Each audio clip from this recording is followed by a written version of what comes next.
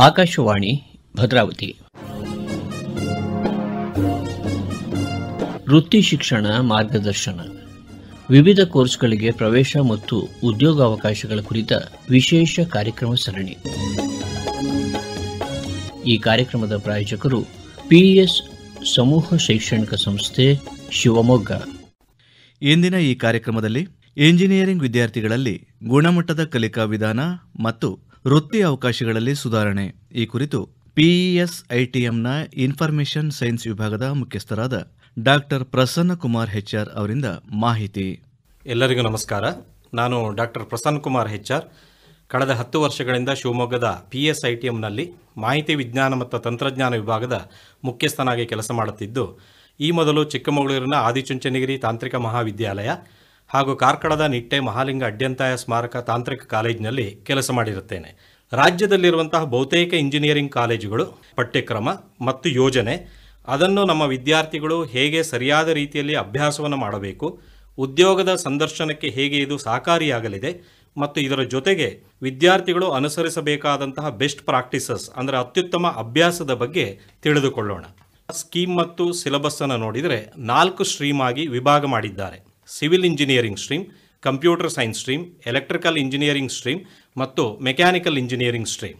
Civil engineering ಸ್ಟ್ರೀಮ್ನಲ್ಲಿ civil engineering, construction technology environmental engineering, mining ಇಂಜಿನಿಯರಿಂಗ್ನಂತಹ engineering ಪದವಿಗಳು ಬಂದರೆ computer ಸ್ಟ್ರೀಮ್ನಲ್ಲಿ computer science, information science, artificial intelligence and machine learning, data science, computer science and design, computer engineering, computer and communication engineering computer science and business system I O T cyber security ಮತ್ತು biotechnology ಬ್ರಾಂಚ್ಗಳು ಇರುತ್ತವೆ. ಇನ್ನು electrical ಸ್ಟ್ರೀಮ್ನಲ್ಲಿ electronics ಮತ್ತು communication engineering, electrical ಮತ್ತು electronics engineering, biomedical engineering, electronics ಮತ್ತು communication engineering, instrumentation engineering, industrial I O T medical electronics, V L S I design ಮತ್ತು technology ಮುಂತಾದ ಪದವಿಗಳನ್ನು ಪಡೆಯಬಹುದಾಗಿದೆ. ಸೊ ಇನ್ನು ನಾಲ್ಕನೇ ಸ್ಟ್ರೀಮ್ ಅಂದರೆ mechanical ಸ್ಟ್ರೀಮ್ನಲ್ಲಿ aeronautical engineering aerospace engineering mechanical engineering agriculture engineering automation ಮತ್ತು robotics automobile engineering chemical engineering industrial ಮತ್ತು production engineering marine engineering mechatronics silk technology textile technology ಮುಂತಾದ ಪದವಿಗಳನ್ನು ಪಡೆಯಬಹುದು. ಇದುವರೆಗೆ ತಿಳಿಸಿದ ಯಾವುದೇ ಇಂಜಿನಿಯರಿಂಗ್ ಕೋರ್ಸ್ಗೆ ವಿದ್ಯಾರ್ಥಿಯೂ ಸೇರಿದರೂ ಕೂಡ ಕೆಲವೊಂದು ಸಾಮಾನ್ಯ ವಿಷಯಗಳನ್ನು ಕಲಿಯಬೇಕಾಗುತ್ತದೆ. ಉದಾಹರಣೆಗೆ ಇಂಜಿನಿಯರಿಂಗ್ ಡ್ರಾಯಿಂಗ್ ಇರ್ಬೋದು communication engineer English writing skill in English ಸಾಂಸ್ಕೃತಿಕ ಕನ್ನಡ ಅಥವಾ ಬಳಕೆ Kannada Indian constitution innovation and design thinking ಮತ್ತು ಆರೋಗ್ಯಕ್ಕೆ ಸಂಬಂಧಪಟ್ಟಂತಹ ಸೈಂಟಿಫಿಕ್ ಫೌಂಡೇಶನ್ ಫಾರ್ ಹೆಲ್ತ್ ಎಂಬ ವಿಷಯಗಳು. ಸಾಮಾನ್ಯ ವಿಷಯಗಳ ಜೊತೆಗೆ ತಾವು ಸೇರಿದ ಇಂಜಿನಿಯರಿಂಗ್ ಬ್ರಾಂಚ್ನ ಮೂಲ ವಿಷಯಗಳನ್ನು ತಿಳಿದುಕೊಳ್ಳಲು ಇಂಜಿನಿಯರಿಂಗ್ ಸೈನ್ಸ್ ಕೋರ್ಸ್ಗಳಾದ introduction to civil engineering electrical engineering electronics engineering mechanical engineering ಮತ್ತು ಸಿ ಪ್ರೋಗ್ರಾಮಿಂಗ್ ಲ್ಯಾಂಗ್ವೇಜನ್ನು ಅಭ್ಯಾಸ ಮಾಡಬೇಕಾಗುತ್ತದೆ. ಇದರ ಹೊರತಾಗಿ ವಿದ್ಯಾರ್ಥಿಗಳಿಗೆ ವಿಶೇಷವಾಗಿ ಉದಯೋನ್ಮುಖ ತಂತ್ರಜ್ಞಾನದ ಕೋರ್ಸ್ಗಳು ಇದ್ದು, ಇಂಜಿನಿಯರಿಂಗ್ ಕ್ಷೇತ್ರದಲ್ಲಿ ಇತ್ತೀಚಿನ ಬೆಳವಣಿಗೆ ಬಗ್ಗೆ ಅರಿವು ಮೂಡಿಸುವ ಕೋರ್ಸ್ಗಳಾದ internet of things cyber security embedded system biosensor renewable energy sources waste management nano technology ಎಂಬ ವಿಷಯಗಳನ್ನು ಅಭ್ಯಾಸ ಮಾಡುತ್ತಾರೆ. ಎಲ್ಲ ಬ್ರಾಂಚಿನ ವಿದ್ಯಾರ್ಥಿಗಳಿಗೆ ಈಗಿನ ಒಂದು ಮಾಹಿತಿ ತಂತ್ರಜ್ಞಾನದ ಅರಿವನ್ನು ಮೂಡಿಸುವ ನಿಟ್ಟಿನಲ್ಲಿ ಪ್ರೋಗ್ರಾಮಿಂಗ್ ಲ್ಯಾಂಗ್ವೇಜ್ ಕೋರ್ಸ್ಗಳಾದ Python, C, Java, C plus plus ಕೋರ್ಸ್ಗಳನ್ನು ಅಭ್ಯಾಸ ಮಾಡುವ ಅವಕಾಶವನ್ನು ಕೂಡ ಕಲ್ಪಿಸಲಾಗಿದೆ. ಸೊ ಇದರಲ್ಲಿ ಆಳವಾದ ಜ್ಞಾನವನ್ನು ಹೊಂದಿದ ಯಾವುದೇ ವಿದ್ಯಾರ್ಥಿಯು ಕೂಡ ಕ್ಯಾಂಪಸ್ ಪ್ಲೇಸ್ಮೆಂಟ್ನಲ್ಲಿ ಆಯ್ಕೆಯಾಗುವುದರಲ್ಲಿ ಸಂದೇಹವಿಲ್ಲ. ವಿಶ್ವೇಶ್ವರಯ್ಯ ತಾಂತ್ರಿಕ ವಿಶ್ವವಿದ್ಯಾಲಯದ ವ್ಯಾಪ್ತಿಯಲ್ಲಿ ಬರುವ ಎಲ್ಲ ಇಂಜಿನಿಯರಿಂಗ್ ಕಾಲೇಜುಗಳಲ್ಲಿ ಎರಡು ಸಾವಿರದ ಹದಿನೈದರಿಂದ ಶೇಕಡಾವಾರು ಬದಲು ಗ್ರೇಡಿಂಗ್ ಸಿಸ್ಟಮನ್ನು ಜಾರಿಗೆ ತಂದಿದ್ದು ಚಾಯ್ಸ್ ಬೇಸ್ಡ್ ಕ್ರೆಡಿಟ್ ಸಿಸ್ಟಮ್ ಎಂಬ ಪದ್ಧತಿಯನ್ನು ಅಳವಡಿಸಿದ್ದು, ಇದರಲ್ಲಿ ವಿದ್ಯಾರ್ಥಿಗಳು ತಮಗೆ ಇಷ್ಟವಾದ ವಿಷಯಗಳನ್ನು ಆಯ್ಕೆ ಮಾಡುವ ಅವಕಾಶವಿದ್ದು, ಮುಂದಿನ ದಿನಗಳಲ್ಲಿ ಉದ್ಯೋಗದ ಸಂದರ್ಶನದಲ್ಲಿ ಇಂತಹ ಕೋರ್ಸ್ಗಳು ತುಂಬ ಅನುಕೂಲಕರವಾಗಿದೆ. ಇಂಜಿನಿಯರಿಂಗ್ ವಿದ್ಯಾರ್ಥಿಗಳು ತಮ್ಮ ಕ್ಷೇತ್ರದಲ್ಲಿ ಪದವಿಯನ್ನು ಪಡೆಯುವುದರ ಜೊತೆಗೆ ಬೇರೊಂದು ನಿರ್ದಿಷ್ಟ ಕ್ಷೇತ್ರದಲ್ಲಿ ಜ್ಞಾನವನ್ನು ಸಂಪಾದಿಸುವ ವಿಶಿಷ್ಟ ಯೋಜನೆಯನ್ನು ವಿಶ್ವವಿದ್ಯಾಲಯ ಜಾರಿಗೆ ತಂದಿತ್ತು. ಅದಕ್ಕೆ ಮೈನರ್ ಡಿಗ್ರಿ ಎಂಬ ಹೆಸರಿದೆ.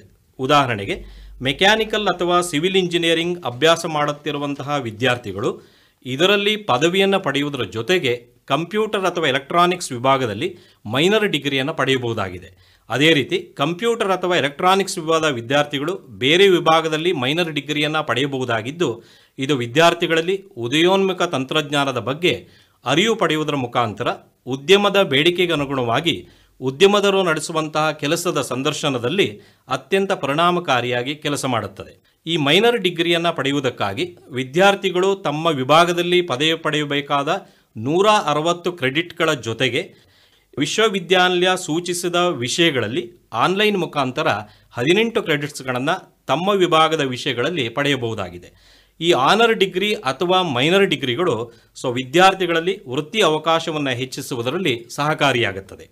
ಇನ್ನು ವಿದ್ಯಾರ್ಥಿಗಳು ತಮ್ಮ ವಿಭಾಗದ ವಿಷಯಗಳಲ್ಲಿ ಪರಿಣಿತಿಯನ್ನು ಪಡೆಯುವುದರ ಜೊತೆಗೆ ಸಾಮರ್ಥ್ಯ ವರ್ಧನೆ ಅಥವಾ ಕೌಶಲ್ಯ ವರ್ಧನೆಯನ್ನು ಹೆಚ್ಚಿಸುವ ಪ್ರಯೋಗಾಲಯ ಆಧಾರಿತ ಕೋರ್ಸ್ಗಳನ್ನು ಅಭ್ಯಾಸ ಮಾಡುತ್ತಾರೆ. ಇಂತಹ ಕೋರ್ಸ್ಗಳಲ್ಲಿ ವಿದ್ಯಾರ್ಥಿಗಳು ತಮ್ಮ ಸ್ಕಿಲ್ಲನ್ನು ಹೆಚ್ಚಿಸುವುದರ ಜೊತೆಗೆ ಪ್ರಾಕ್ಟಿಕಲ್ ನಾಲೆಡ್ಜನ್ನು ಪಡೆದು ಕ್ಯಾಂಪಸ್ ಪ್ಲೇಸ್ಮೆಂಟಿಗೆ ಸಹಕಾರಿಯಾಗುತ್ತದೆ. ಇದಲ್ಲದೆ ವಿದ್ಯಾರ್ಥಿಗಳು ಪರಿಸರ ಅಧ್ಯಯನ ಇರಬಹುದು ಜೀವಶಾಸ್ತ್ರ, ಸಾಮಾಜಿಕ ಸಂಪರ್ಕ ಮತ್ತು ಜವಾಬ್ದಾರಿ, ರಾಷ್ಟ್ರೀಯ ಸೇವಾ ಯೋಜನೆ, ದೈಹಿಕ ಶಿಕ್ಷಣ, ಸಂಗೀತ ಮತ್ತು ಯೋಗದ ವಿಷಯದಲ್ಲಿಯೂ ಕೂಡ ಪರಿಣಿತಿಯನ್ನು ಪಡೆಯುತ್ತಾರೆ. ಸೊ ಇಂಜಿನಿಯರಿಂಗ್ ವಿದ್ಯಾರ್ಥಿಗಳಿಗೆ ತಮ್ಮ ಆಯ್ಕೆಯ ವಿಭಾಗದಲ್ಲಿ ಪದವಿಯನ್ನು ಪಡೆಯುವುದರ ಜೊತೆಗೆ ಒಬ್ಬ ಇಂಜಿನಿಯರ್ ಆಗಿ ಸಮಾಜಕ್ಕೆ ಒಂದು ಒಳ್ಳೆಯ ಕೆಲಸವನ್ನು ಮಾಡುವ ನಿಟ್ಟಿನಲ್ಲಿ ಎ ಸಿ ಟಿಯವರು ಕೆಲವು ಚಟುವಟಿಕೆಗಳನ್ನು ಮಾಡಲು ಅವಕಾಶ ಮಾಡಿದ್ದಾರೆ. ಹಾಗೂ ಇದಕ್ಕೆ ನೂರು ಪಾಯಿಂಟ್ಸ್ಗಳನ್ನು ಕೂಡ ನಿಗದಿ ಮಾಡಿದ್ದಾರೆ. ಸೊ, ಇದರಲ್ಲಿ ವಿಶೇಷವಾಗಿ ವಿದ್ಯಾರ್ಥಿಗಳು ಸ್ಥಳೀಯ ಶಾಲೆಗಳಿಗೆ ಭೇಟಿ ನೀಡಿ, ಆ ಶಾಲೆಯ ವಿದ್ಯಾರ್ಥಿಗಳಿಗೆ ಉನ್ನತ ಶಿಕ್ಷಣದ ಮಹತ್ವವನ್ನು ತಿಳಿಸುವುದರ ಜೊತೆಗೆ ಶಾಲೆಯ ವಿದ್ಯಾರ್ಥಿಗಳ ದಾಖಲಾತಿ ಪ್ರಮಾಣವನ್ನು ಹೆಚ್ಚಿಸುವುದು, ಗ್ರಾಮದ ಆದಾಯವನ್ನು ಹೆಚ್ಚಿಸುವ ವ್ಯಾಪಾರ ಪ್ರಸ್ತಾಪ, ಅಂದರೆ ಬಿಸ್ನೆಸ್ ಪ್ರಪೋಸಲನ್ನು ಸಿದ್ಧಪಡಿಸುವುದು, ಸುಸ್ಥಿರ ನೀರಿನ ನಿರ್ವಹಣೆ ಬಗ್ಗೆ ಜನರಲ್ಲಿ ಅರಿವು ಮೂಡಿಸುವುದು, ಅಂದರೆ ಭವಿಷ್ಯದ ಪೀಳಿಗೆಯ ಸಾಮರ್ಥ್ಯಕ್ಕೆ ಧಕ್ಕೆಯಾಗದಂತೆ ವರ್ತಮಾನದ ನೀರಿನ ಅಗತ್ಯಗಳನ್ನು ಪೂರೈಸುವ ಸಾಮರ್ಥ್ಯದ ಬಗ್ಗೆ ಅರಿವನ್ನು ಮೂಡಿಸುವುದು ಪ್ರವಾಸೋದ್ಯಮದ ಪ್ರಚಾರ, ಹೊಸ ತಂತ್ರಜ್ಞಾನದ ಪ್ರಚಾರ, ಎನರ್ಜಿ ಕನ್ಸಂಪ್ಷನನ್ನು ಕಡಿಮೆ ಮಾಡುವುದರ ಕುರಿತು ತಿಳುವಳಿಕೆಯನ್ನು ನೀಡುವುದು, ಹಳ್ಳಿಗಳಲ್ಲಿ ನಗದು ರಹಿತ ವಹಿವಾಟು ಅಂದರೆ ಡಿಜಿಟಲ್ ಮನಿ ಟ್ರಾನ್ಸಾಕ್ಷನ್ ಬಗ್ಗೆ ಅರಿವು ಮೂಡಿಸುವುದು, ಸಮರ್ಪಕವಾದ ಕಸದ ವಿಲೇವಾರಿ ಬಗ್ಗೆ ಮಾಹಿತಿಯನ್ನು ನೀಡುವುದು, ರೂರಲ್ ಮಾರ್ಕೆಟಿಂಗ್ ಬಗ್ಗೆ ತಿಳುವಳಿಕೆ ನೀಡುವುದು, ಆಹಾರ ಪ್ಯಾಕಿಂಗ್ ಮತ್ತು ಸಂಸ್ಕರಣೆ ಕುರಿತು ಅಧ್ಯಯನ ಮಾಡಿ ವರದಿ ನೀಡುವುದು ಸ್ಥಳೀಯ ಚಟುವಟಿಕೆಗಳ ಯಾಂತ್ರೀಕರಣ,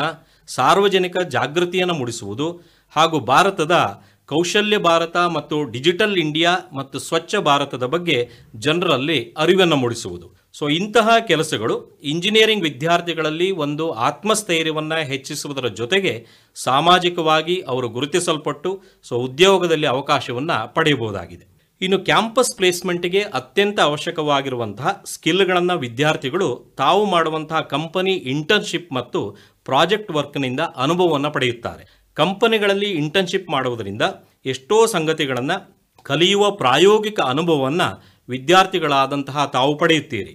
ತಮ್ಮ ವಿಭಾಗದ ವಿಷಯಗಳ ವ್ಯಾಸಂಗದ ಜೊತೆಗೆ ತಾತ್ಕಾಲಿಕವಾಗಿ ಪ್ರಾಯೋಗಿಕ ತರಬೇತಿ ಪಡೆಯುವುದು ಈ ಇಂಟರ್ನ್ಶಿಪ್ನ ಮೂಲ ಉದ್ದೇಶವಾಗಿದ್ದು ಪದವಿ ಮುಗಿಸಿದ ವಿದ್ಯಾರ್ಥಿಗಳನ್ನು ಉದ್ಯೋಗಕ್ಕೆ ಸಜ್ಜುಗೊಳಿಸುವ ನಿಟ್ಟಿನಲ್ಲಿ ಈ ಇಂಟರ್ನ್ಶಿಪ್ ಅತ್ಯಂತ ಸಹಕಾರಿಯಾಗಿದೆ. ಪ್ರಸ್ತುತವಾದ ಕೌಶಲ್ಯಗಳನ್ನು ಅನುಭವದ ಮೂಲಕ ಪಡೆದುಕೊಳ್ಳುವುದು ಈ ಇಂಟರ್ನ್ಶಿಪ್ನ ಮುಖ್ಯ ಉದ್ದೇಶ.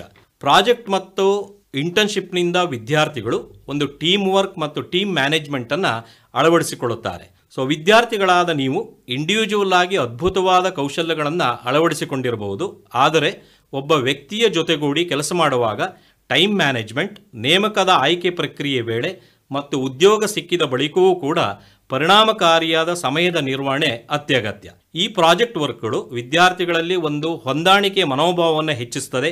ಕಚೇರಿಗೆ ಸಮಯಕ್ಕೆ ಸರಿಯಾಗಿ ಬರುವುದು, ಸಮಯ ಪಾಲನೆ ಇರಬಹುದು ಹೆಚ್ಚುವರಿ ಅವಧಿ ಕೆಲಸಕ್ಕೆ ಇದು ಸಹಕಾರಿಯಾಗುತ್ತದೆ. ಲೀಡರ್ಶಿಪ್ ಅಂದರೆ ಒಂದು ನಾಯಕತ್ವದ ಗುಣವನ್ನು ವೃದ್ಧಿ ಮಾಡುತ್ತದೆ. ಹೆಚ್ಚು ಹೆಚ್ಚು ಸಂಶೋಧನೆಯ ಕಡೆಗೆ ಒಲವು ಮೂಡುವಂತೆ ಪ್ರೇರೇಪಿಸುತ್ತದೆ. ಬಿಕ್ಕಟ್ಟಿನ ಸಂದರ್ಭ, ಅನಿವಾರ್ಯ ಪರಿಸ್ಥಿತಿ, ಯಾವುದಾದ್ರೂ ಸಮಸ್ಯೆಗೆ ಪ್ರತಿಕ್ರಿಯಿಸುವಂತಹ ಒಂದು ಸಾಮರ್ಥ್ಯ, ಚಿಂತನೆಗೆ ಈ ಪ್ರಾಜೆಕ್ಟ್ ವರ್ಕ್ ಮತ್ತು ಇಂಟರ್ನ್ಶಿಪ್ಗಳು ಸಹಾಯವನ್ನು ಮಾಡುತ್ತದೆ. ಸೊ, ಇತ್ತೀಚಿನ ಇಂಜಿನಿಯರಿಂಗ್ ಪದವಿಗೆ ಸೇರುವ ವಿದ್ಯಾರ್ಥಿಗಳ ಸಂಖ್ಯೆಯಲ್ಲಿ ಗಣನೀಯವಾಗಿ ಹೆಚ್ಚಳವಾಗಿದ್ದು, ಕೆಲವು ವಿದ್ಯಾರ್ಥಿಗಳಲ್ಲಿ ಕೆಲವೊಂದು ಸಮಸ್ಯೆಗಳನ್ನು ಕೂಡ ನಾವು ಗಮನಿಸ್ತಾ ಇದ್ದೇವೆ. ಉದಾಹರಣೆಗೆ, ಅತಿಯಾದ ಮೊಬೈಲ್ ಬಳಕೆ, ಹೊಸ ವಿಷಯಗಳನ್ನು ಕಲಿಯಬೇಕೆಂಬ ಆಸಕ್ತಿಯಲ್ಲಿ ಕೊರತೆ ಉಪನ್ಯಾಸಕರಲ್ಲಿ ತೋರುವಂತಹ ಒಂದು ಗೌರವ ಹಾಗೂ ಅವರೊಡನೆ ಪಠ್ಯದ ವಿಷಯದಲ್ಲಿ ಚರ್ಚಿಸುವ ವಿಷಯದಲ್ಲಿ ನಿರಾಸಕ್ತಿ, ಯಾವುದೇ ಸ್ಪಷ್ಟ ನಿರ್ಧಾರ ತೆಗೆದುಕೊಳ್ಳುವುದರಲ್ಲಿ ಎಡುವುದು, ಸ್ಪಷ್ಟವಾದ ಜೀವನದ ಮುಂದಿನ ಗುರಿಯನ್ನು ಹೊಂದದೇ ಇರುವಂಥದ್ದು, ಸಾಮರ್ಥ್ಯವಿದ್ದರೂ ಕೂಡ ಅದನ್ನು ಸಮರ್ಥವಾಗಿ ಉಪಯೋಗಿಸದೇ ಇರುವುದು, ತರಗತಿಗೆ ನಿಯಮಿತವಾಗಿ ಹಾಗೂ ಸರಿಯಾದ ಸಮಯಕ್ಕೆ ಬರದೇ ಇರುವುದು, ಕೇವಲ ಪರೀಕ್ಷೆ ಅವಧಿಗೆ ಮುನ್ನ ಅಭ್ಯಾಸವನ್ನು ಆರಂಭಿಸುವುದು ಕ್ಯಾಂಪಸ್ ಪ್ಲೇಸ್ಮೆಂಟಿಗೆ ಸರಿಯಾದ ಪೂರ್ವ ತಯಾರಿಯೇ ಇಲ್ಲದೆ ಸಂದರ್ಶನಕ್ಕೆ ಹಾಜರಾಗುವುದು,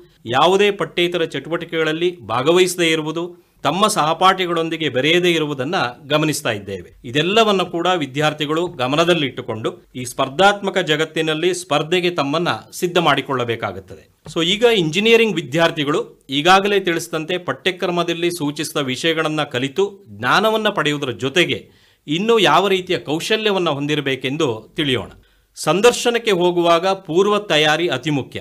ಬಹಳಷ್ಟು ಜಾಲತಾಣಗಳು, ಅಂದರೆ ವೆಬ್ಸೈಟ್ಗಳು ಕಂಪನಿಗಳಲ್ಲಿ ಕೇಳುವಂತಹ ಪ್ರಶ್ನೆಗಳನ್ನು ಉತ್ತರದೊಂದಿಗೆ ಒದಗಿಸ್ತವೆ. ಉದಾಹರಣೆಗೆ HackerRank, Codewars, LeetCode, GeeksforGeeks, AlgoExpert, Educative, CodeStudio, Tutor Academy. ಇನ್ನು ಹಲವಾರು ವೆಬ್ಸೈಟ್ಗಳಿವೆ. ಮುಖ್ಯವಾಗಿ ಇವುಗಳಿಂದ ವಿದ್ಯಾರ್ಥಿಗಳು ಕೋಡಿಂಗ್ ಪ್ರಾಕ್ಟೀಸ್ ಮಾರ್ಕ್ ಇಂಟರ್ವ್ಯೂಗಳ ಬಗ್ಗೆ ತಿಳಿದುಕೊಳ್ಳಬಹುದು. ಇನ್ನು ವಿದ್ಯಾರ್ಥಿಗಳು ಥಿಯರಿಟಿಕಲ್ ನಾಲೆಡ್ಜ್ನ ಜೊತೆಗೆ ಮುಖ್ಯವಾಗಿ ಪ್ರಾಯೋಗಿಕ ಜ್ಞಾನ, ಅಂದರೆ ಪ್ರಾಕ್ಟಿಕಲ್ ನಾಲೆಡ್ಜನ್ನು ಹೊಂದಬೇಕಾಗುತ್ತದೆ. ತರಗತಿಯಲ್ಲಿ ಹೇಳಿಕೊಡುವ ಪ್ರತಿಯೊಂದು ವಿಷಯ, ಅಂದರೆ ಕಾನ್ಸೆಪ್ಟ್ ಪರಿಕಲ್ಪನೆಯ ಬಗ್ಗೆ ಆಳವಾದ ಅಭ್ಯಾಸವನ್ನು ಮಾಡಬೇಕಾಗುತ್ತದೆ. ತಮ್ಮ ಫ್ರೆಂಡ್ಸ್ಗಳ ಜೊತೆ ಸೇರಿ ಒಂದು ಸಣ್ಣದೊಂದು ಗುಂಪನ್ನು ಮಾಡಿಕೊಂಡು ಸ್ಮಾಲ್ ಪ್ರಾಜೆಕ್ಟ್ಗಳನ್ನು ಮಾಡುವುದನ್ನು ಅಭ್ಯಾಸವನ್ನು ಮಾಡಿಕೊಳ್ಳಬೇಕು. ಯಾವ ಯಾವ ಕಂಪನಿಗಳಲ್ಲಿ ಉದ್ಯೋಗ ಅವಕಾಶಗಳಿವೆ ಹಾಗೂ ಅದಕ್ಕೆ ಹೇಗೆ ಪೂರ್ವ ತಯಾರಿ ಮಾಡಬೇಕು ಎಂದು ನೀವು ನಿಮ್ಮ ಹಳೆಯ ವಿದ್ಯಾರ್ಥಿಗಳ ಹತ್ತಿರ ನಿರಂತರವಾಗಿ ಕಾಂಟ್ಯಾಕ್ಟ್ನಲ್ಲಿದ್ದು ಚರ್ಚೆಯನ್ನು ಮಾಡಬೇಕು.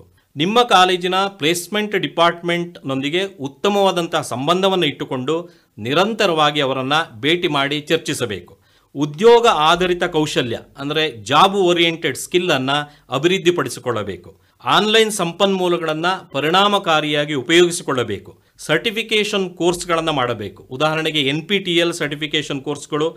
ಸೊ, ಇಂತಹ ಸರ್ಟಿಫಿಕೇಷನ್ ಕೋರ್ಸ್ಗಳನ್ನು ಖಂಡಿತವಾಗಿ ಕೂಡ ಸಂದರ್ಶನದ ಅವಧಿಯಲ್ಲಿ ಪರಿಗಣಿಸ್ತಾರೆ. ಸೊ, ಇಂಗ್ಲಿಷ್ ಭಾಷೆಯಲ್ಲಿ ಒಂದು ಪ್ರೌಢಿಮೆ ಮತ್ತು ಮಾತನಾಡುವಂತಹ ಒಂದು ಅಭ್ಯಾಸವನ್ನು ಬೆಳೆಸಿಕೊಳ್ಳಬೇಕು. ಕಂಪನಿಗಳು ವಿದ್ಯಾರ್ಥಿಗಳ ಕಲಿಕೆಯ ಆಸಕ್ತಿಯನ್ನು ಪರೀಕ್ಷಿಸುವುದರಿಂದ ನೀವು ಎಷ್ಟೇ ಬುದ್ಧಿವಂತರಾಗಿದ್ದರೂ ಕೂಡ ಕಲಿಕೆಯ ಆಸಕ್ತಿಯನ್ನು ಹೊಂದಿರಬೇಕು. ವಿದ್ಯಾರ್ಥಿಗಳು ನಿಮ್ಮ ಕಾಲೇಜು ಅಥವಾ ಬೇರೆ ಕಾಲೇಜುಗಳಲ್ಲಿ ನಡೆಯುವಂತಹ ರಾಷ್ಟ್ರೀಯ ಅಥವಾ ಅಂತಾರಾಷ್ಟ್ರೀಯ ಸಮ್ಮೇಳನ, ಅಂದರೆ ಕಾನ್ಫರೆನ್ಸ್ಗಳಲ್ಲಿ ಭಾಗವಹಿಸಿ ಟೆಕ್ನಿಕಲ್ ಪೇಪರನ್ನು ಪ್ರಸ್ತುತಪಡಿಸಬೇಕು. ಇದರಿಂದ ನಿಮ್ಮ ಕಲಿಕಾ ಸಾಮರ್ಥ್ಯ, ಬೇರೆಯವರೊಂದಿಗೆ ಚರ್ಚಿಸುವಂತಹ ಒಂದು ಅವಕಾಶ, ಧೈರ್ಯವಾಗಿ ಎಲ್ಲರ ಮುಂದೆ ಮಾತನಾಡುವಂತಹ ಕಲೆ ವೃದ್ಧಿಯಾಗುತ್ತದೆ. ಅತಿ ಹೆಚ್ಚಿನ ವರ್ಕ್ಶಾಪ್ ಅಥವಾ ಕಾರ್ಯಾಗಾರಗಳಲ್ಲಿ ಭಾಗವಹಿಸಬೇಕು. ಟೆಕ್ನಿಕಲ್ ಟಾಕ್ ಅಂದರೆ ತಾಂತ್ರಿಕ ಚರ್ಚೆಗಳಲ್ಲಿ ನಿಯಮಿತವಾಗಿ ಭಾಗವಹಿಸುವುದರಿಂದ ಇತ್ತೀಚೆಗೆ ಇಂಡಸ್ಟ್ರಿಯಲ್ಲಿ ಆಗುತ್ತಿರುವಂತಹ ಬದಲಾವಣೆ ಬಗ್ಗೆ ಅರಿವನ್ನು ಮೂಡುತ್ತದೆ. ಹ್ಯಾಕಥಾನ್ ಅಥವಾ ಐಡಿಯಾಥಾನ್ಗಳಲ್ಲಿ ಭಾಗವಹಿಸಿ ನಿಮ್ಮ ಐಡಿಯಾಗಳನ್ನು ಪ್ರದರ್ಶಿಸಬೇಕು. ಉದ್ಯಮಗಳಿಗೆ ಅಂದರೆ ಭೇಟಿ ಕೊಟ್ಟು, ಇಂಡಸ್ಟ್ರಿಯಲ್ ವಿಸಿಟ್ ಅಂತ ಏನು ಕರಿತೀವಿ, ಅಲ್ಲಿರುವಂತಹ ತಂತ್ರಜ್ಞಾನದ ಬಗ್ಗೆ ತಿಳುವಳಿಕೆಯನ್ನು ಪಡೆಯಬೇಕು. ಸೊ, ಬೇರೆ ಕಾಲೇಜುಗಳಲ್ಲಿ ಆಯೋಜಿಸುವ ಪ್ರಾಜೆಕ್ಟ್ ಎಕ್ಸಿಬಿಷನ್ಗಳಲ್ಲಿ ಭಾಗವಹಿಸಿ ನೀವು ಸಿದ್ಧಪಡಿಸಿದಂತಹ ಪ್ರಾಜೆಕ್ಟ್ಗಳನ್ನು ವಿವರಿಸಬೇಕು. ಸೊ, ಮುಖ್ಯವಾಗಿ ಸಮಾಜಕ್ಕೆ ಅನುಕೂಲಕರವಾಗುವಂತಹ ಉದಾಹರಣೆಗೆ ಕೃಷಿ ವಲಯ ಇರಬಹುದು ಶಿಕ್ಷಣ ವಲಯ ಆರೋಗ್ಯ ವಲಯಕ್ಕೆ ಸಂಬಂಧಪಟ್ಟಂಥ ಪ್ರಾಜೆಕ್ಟ್ಗಳನ್ನು ಮಾಡಬೇಕು. ಅಪ್ಲಿಕೇಶನ್ ಡೆವಲಪ್ಮೆಂಟ್ನಲ್ಲಿ ಆಸಕ್ತಿ ಹೊಂದಿ ಅಪ್ಲಿಕೇಶನನ್ನು ಅಭಿವೃದ್ಧಿಪಡಿಸುವಂಥದ್ದು ಕೆಲಸವನ್ನು ಮಾಡಬೇಕು. ಸೊ ಒಂದು ಡಿಪಾರ್ಟ್ಮೆಂಟಿನ ವಿದ್ಯಾರ್ಥಿಗಳು ಇನ್ನೊಂದು ಡಿಪಾರ್ಟ್ಮೆಂಟಿನ ವಿದ್ಯಾರ್ಥಿಗಳ ಜೊತೆ ಸೇರಿ ಎರಡು ಮೂರು ವಿಭಾಗಗಳ ವಿಷಯಗಳನ್ನು ಅಳವಡಿಸಿಕೊಂಡು ಮಲ್ಟಿ ಡಿಸಿಪ್ಲಿನರಿ ಪ್ರಾಜೆಕ್ಟ್ಗಳನ್ನು ಕೂಡ ಮಾಡಬೇಕು. ಸೊ ಇನ್ನು ಕೆಲವರು ಎಂ ಟೆಕ್ ಅಥವಾ ಎಂ ಎಸ್ ಮಾಡುವವರು ಗೇಟ್ ಹಾಗೂ ಇತರ ಎಕ್ಸಾಮ್ಗಳಿಗೆ ಎರಡನೇ ವರ್ಷದಿಂದಲೇ ತಯಾರಿಯನ್ನು ಮಾಡಬೇಕು. ಸೊ ಮುಖ್ಯವಾಗಿ ಈ ಎಲ್ಲ ನಿಮ್ಮ ಚಟುವಟಿಕೆಗಳನ್ನು ನೀವು ತಯಾರಿಸುವಂತಹ ನಿಮ್ಮ ರೆಸ್ಯೂಮ್ನಲ್ಲಿ ಅಪ್ಡೇಟ್ ಮಾಡಬೇಕು. ಸೊ ಅದನ್ನು ಸಂದರ್ಶಕರು ಕ್ಯಾಂಪಸ್ ಪ್ಲೇಸ್ಮೆಂಟ್ ವೇಳೆಯಲ್ಲಿ ಪರಿಶೀಲಿಸ್ತಾರೆ. ಸೊ ಕೊನೆಯದಾಗಿ ಇಂಜಿನಿಯರಿಂಗ್ ಅಭ್ಯಾಸ ಮಾಡುತ್ತಿರುವ ಎಲ್ಲ ವಿದ್ಯಾರ್ಥಿಗಳಿಗೂ ಶುಭವನ್ನು ಕೋರುತ್ತಾ, ಅವಕಾಶ ನೀಡಿದ ಪಿ ಸಂಸ್ಥೆಗೆ, ಆಕಾಶವಾಣಿ ಭದ್ರಾವತಿ ಕೇಂದ್ರದ ಎಲ್ಲ ಸಿಬ್ಬಂದಿಯವರಿಗೂ ಹಾಗೂ ಎಲ್ಲ ಕೇಳುಗರಿಗೂ ವಂದಿಸ್ತಾ ಕಾರ್ಯಕ್ರಮವನ್ನು ಮುಗಿಸುತ್ತಿದ್ದೇನೆ ವಂದನೆಗಳು. ಇದುವರೆಗೆ ಇಂಜಿನಿಯರಿಂಗ್ ವಿದ್ಯಾರ್ಥಿಗಳಲ್ಲಿ ಗುಣಮಟ್ಟದ ಕಲಿಕಾ ವಿಧಾನ ಮತ್ತು ವೃತ್ತಿ ಅವಕಾಶಗಳಲ್ಲಿ ಸುಧಾರಣೆ. ಈ ಕುರಿತು ಪಿಇಎಸ್ ಐಟಿಎಂನ ಇನ್ಫಾರ್ಮೇಷನ್ ಸೈನ್ಸ್ ವಿಭಾಗದ ಮುಖ್ಯಸ್ಥರಾದ ಡಾಕ್ಟರ್ ಪ್ರಸನ್ನ ಕುಮಾರ್ ಹೆಚ್ಆರ್ ಅವರಿಂದ ಮಾಹಿತಿ ಕೇಳಿದಿರಿ. ಶಿವಮೊಗ್ಗದ PES institute of technology and ಮ್ಯಾನೇಜ್ಮೆಂಟ್ನಲ್ಲಿ ಈ ಶೈಕ್ಷಣಿಕ ವರ್ಷಕ್ಕಾಗಿ ವಿವಿಧ ಇಂಜಿನಿಯರಿಂಗ್ ಕೋರ್ಸ್ಗಳ ದಾಖಲಾತಿ ಆರಂಭವಾಗಿದ್ದು, ಲಭ್ಯವಿರುವ ಕೋರ್ಸ್ಗಳೆಂದರೆ CSE ISC ECE ME civil EEE AI and ML CSDS CSD ಹಾಗೂ ಕಂಪ್ಯೂಟರ್ ಇಂಜಿನಿಯರಿಂಗ್ ಉತ್ತಮ ಶಿಕ್ಷಣ, ಅತ್ಯುತ್ತಮ ಕಲಿಕಾ ವಾತಾವರಣವಿರುವ ಪಿಇಎಸ್ ಸಂಸ್ಥೆ ಸೇರಲು ಎಂಟು ಎರಡು ಒಂಬತ್ತು ಆರು ಮೂರು ಒಂದು ಏಳು ಆರು ಮೂರಕ್ಕೆ ಸಂಪರ್ಕಿಸಿ ಅಥವಾ ಶಿವಮೊಗ್ಗ ಸಾಗರ ರಸ್ತೆಯಲ್ಲಿರುವ ಪಿಇಎಸ್ ಕ್ಯಾಂಪಸ್ಗೆ ಭೇಟಿ ನೀಡಬಹುದು. ಇದುವರೆಗೂ ವೃತ್ತಿ ಶಿಕ್ಷಣ, ಮಾರ್ಗದರ್ಶನ, ವಿವಿಧ ಕೋರ್ಸ್ಗಳಿಗೆ ಪ್ರವೇಶ ಮತ್ತು ಉದ್ಯೋಗ ಅವಕಾಶಗಳ ಕುರಿತ ವಿಶೇಷ ಕಾರ್ಯಕ್ರಮ ಸರಣಿ ಕೇಳಿದಿರಿ. ಈ ಕಾರ್ಯಕ್ರಮದ ಪ್ರಾಯೋಜಕರು ಪಿಇಎಸ್ ಸಮೂಹ ಶೈಕ್ಷಣಿಕ ಸಂಸ್ಥೆ ಶಿವಮೊಗ್ಗ. ಆತ್ಮೀಯ ಕೇಳಿದರೆ ಈ ಕಾರ್ಯಕ್ರಮ ಸರಣಿ ಆಕಾಶವಾಣಿ, ಭದ್ರಾವತಿ, ಯೂಟ್ಯೂಬ್ನಲ್ಲೂ ಲಭ್ಯ ಇದೆ. ಈ ಕಾರ್ಯಕ್ರಮದ ನಿರ್ಮಾಣ ಎಸ್ ಎಲ್ ರಮೇಶ್ ಪ್ರಸಾದ್.